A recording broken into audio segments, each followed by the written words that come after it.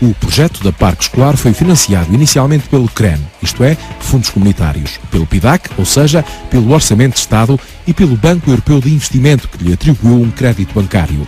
Mas há ainda uma nova forma de financiamento. Agora, as escolas reabilitadas têm de pagar uma renda pelo uso das instalações à parque escolar de 1 euro e 65 cêntimos por metro quadrado. Aplicação de financiamento através de uma taxa mensal num contrato de programa que tem a duração de vários anos. Tem duas componentes, uma que será para manutenção e conservação e outra será, portanto, para a amortização do empréstimo bancário. Eu posso lhe dizer que as escolas, eh, antes deste projeto, eh, teria, estavam a ter eh, dinheiro que saía do Estado para fazer pequenas reparações, para fazer com que os edifícios tivessem sua dignidade como edifício escolar e eram milhões que o Estado gastava uh, todos os anos. E eu não creio que haja aqui duplicação de, de, de, aliás, não creio e digo que não haja duplicação de financiamentos. A Parque Escolar vai garantir a entrada de 50 milhões de euros em rendas já este ano. Mais um relatório do Tribunal de Contas acerca da Parque Escolar. Damos conta que neste relatório o Tribunal de Contas detectou uh, 3 milhões em obras só numa escola que uh, não foram feitas, obras essas que não foram feitas, mas foram pagas, uh, seguindo o Tribunal de Contas a falar mesmo em uh, falsificação de documentos. Entramos o facto de só num liceu terem sido necessários 3 mil euros para retirar os quadros da ardósia que lá estavam.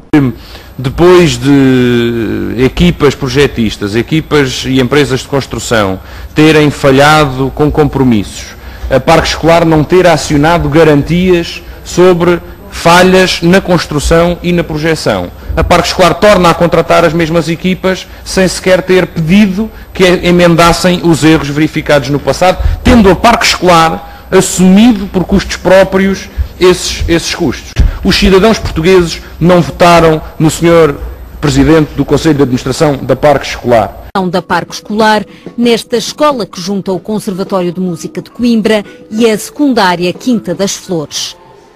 Ao todo, as novas instalações, totalmente equipadas, custaram cerca de 30 milhões de euros.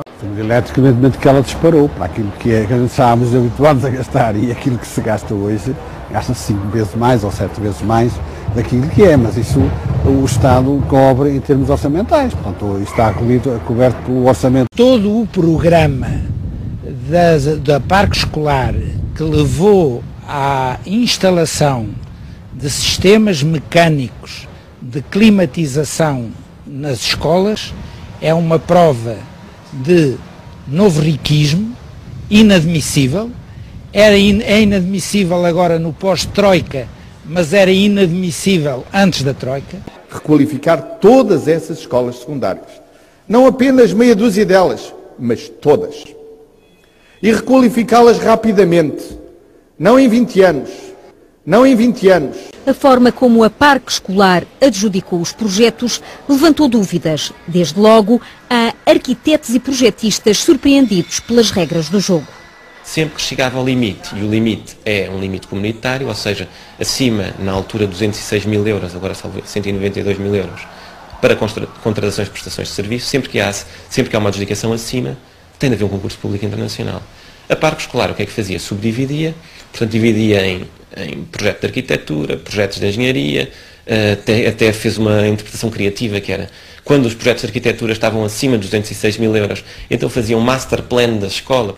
Tiago Mota Saraiva faz parte de um grupo de cidadãos que reuniu dados e os apresentou a várias entidades, como o Tribunal de Contas e os grupos parlamentares.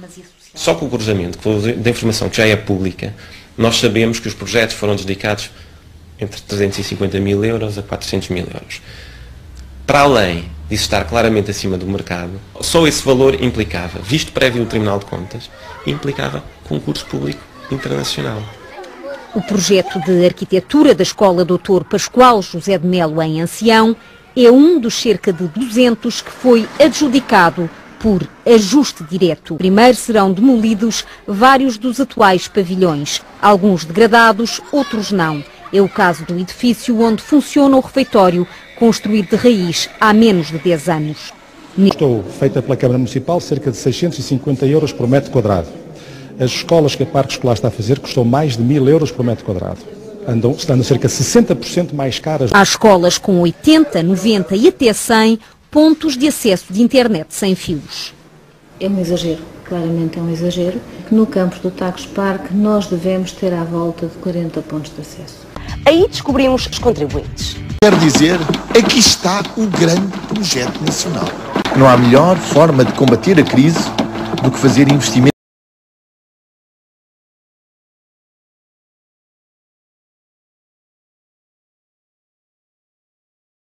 se envolveu em polémicas. E o que é grave é que este modelo persiste. Tivemos a prorrogação daquilo que é a possibilidade de ajuste direto uh, por parte da Parque Escolar para a requalificação. Ajustes diretos que estão a ser feitos pela Parque Escolar e noto apenas como curiosidade a forma como estão a ser adjudicados os projetos uh, a diferentes arquitetos têm vindo a ser acusados por parte de militantes do Partido Socialista que disseram desta estranheza de ser apenas uma meia dúzia de gabinetes de projetistas que estão a fazer os projetos de requalificação das escolas públicas. É o novo BPN. Uma derrapagem brutal, um descontrole total, um despesismo sem limites. Compreendo que o PS diga, não, nós gostamos desta empresa porque fomos nós que a criamos. Nós gostamos desta empresa porque fomos nós que mandámos que ela fizesse escolas. Pá, eu até isso compreendo. Agora, recusar-se a ver as evidências parece muito estranho e muito suspeito. E, portanto, eu pergunto, mas que cumplicidades é que eventualmente há ou houve entre o PS e a parte escolar e os seus gestores? Parece. Segundo, mas será que, como já vi escrito, houve favores que foram dados ou que foram comprados entre o PS e os gestores da parte escolar ou a empresa? Aponta, contudo, algumas falhas, como o piso de terra nestes pátios ou um sistema de climatização cujo funcionamento é incomportável para a escola. Um dos principais problemas uh, destas obras de modernização, na minha opinião, ficaram equipados com sistemas de climatização que não são adequados à capacidade económica que as escolas têm. O Tribunal de Contas detectou ainda inúmeras alterações ao projeto e ao contrato que resultaram na realização de avultados trabalhos a mais, feitos quase sempre à margem da lei. Nesta escola, o custo inicialmente previsto de pouco mais de 16 milhões de euros foi ultrapassado em quase 7 milhões e meio de euros. Não houve derrapagens, não houve derrapagens, não houve derrapagens,